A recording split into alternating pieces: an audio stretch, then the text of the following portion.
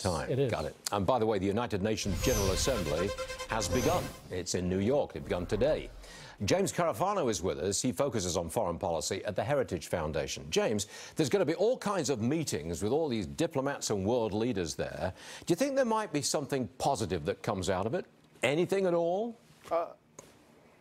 Uh, in the bilats, yes. I mean, the President of the United States, for example, is going to have several bilateral meetings. And there's a big difference between Trump at the UN today and Trump at the UN a year ago because now America's got a, a pretty heavy foreign policy on the agenda and it's very clear where we're going and what we've achieved.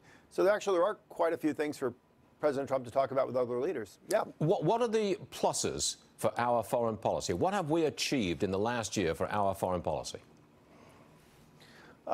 So you start in the Middle East. Um, you can say what you want about Syria, but Syria is not spinning out of control and creating a large scale regional war. Um, you can say what you want about Iraq, but Iraq at least is not spinning out of control and falling apart.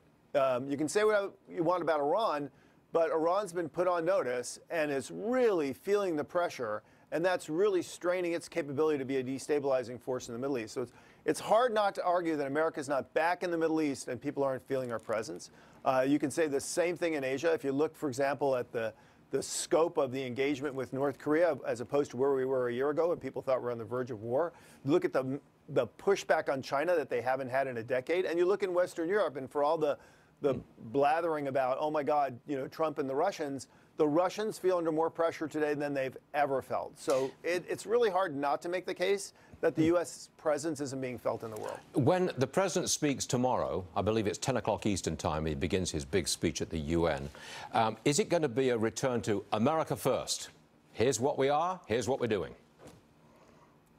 Well, I do think it'll be about what we are doing in the world, and I, I do think people will pay uh, a, a, lot more attention. Not that they didn't pay attention when it last year, but now they have context. I mean, a, a year ago there still wasn't a lot of context about what is the United States actually going to do. You can love Trump, you can hate Trump, you can cherry pick the quotes and the tweets all you want, but at the end of the day, what America is doing on the ground is undeniable, and we see that. And the president kind of putting a context for that, unfiltered by the media and everything else. I, I think people will pay attention. Yeah, you just got to have it unfiltered by the media, and that's a fact. James, thanks for joining us. So we do appreciate it.